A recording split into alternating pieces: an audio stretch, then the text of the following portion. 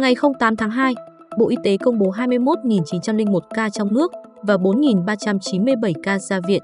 Tính từ 16 giờ ngày 7 tháng 2 đến 16 giờ ngày 8 tháng 2, ghi nhận 21.909 ca nhiễm mới, trong đó 8 ca nhập cảnh và 21.901 ca ghi nhận trong nước, tăng 5.092 ca so với ngày trước đó.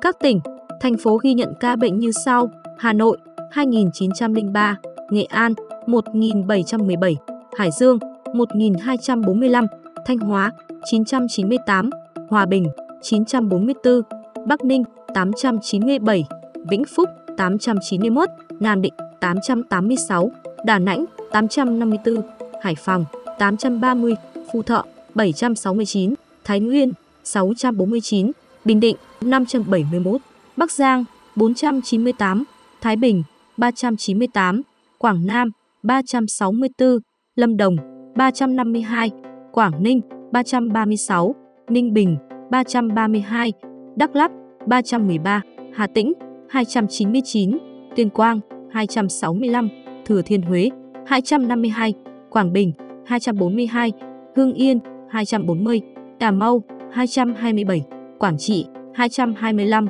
Gia Lai 220, Cần Tôm 207, Hà Nam 189, Khánh Hòa 183, Lào Cai 183, Bình Phước 181, Quảng Ngãi 177, Sơn La 175, Lạng Sơn 166, Bà Rịa Vũng Tàu 161, Yên Bái 158, Đắk Nông 146, Phú Yên 137, Thành phố Hồ Chí Minh 116, Hà Giang 107, Cao Bằng 105, Lai Châu 99, Vĩnh Long 88, Bình Thuận 72, Bến Tre 70, Tây Ninh 67, Kiên Giang 59, Trà Vinh 57, Bạc Liêu 52, Bắc Cạn 39, Đồng Tháp 34, Sóc Trăng 30, Cần Thơ 28, Điện Biên 21, Bình Dương 19,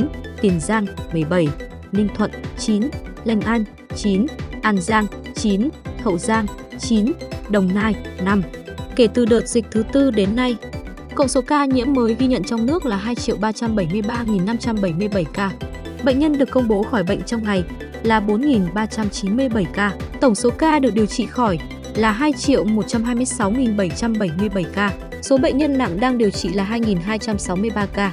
Từ 17 giờ 30 phút ngày 7 tháng 2 đến 17 giờ 30 phút ngày 8 tháng 2 ghi nhận 97 ca tử vong.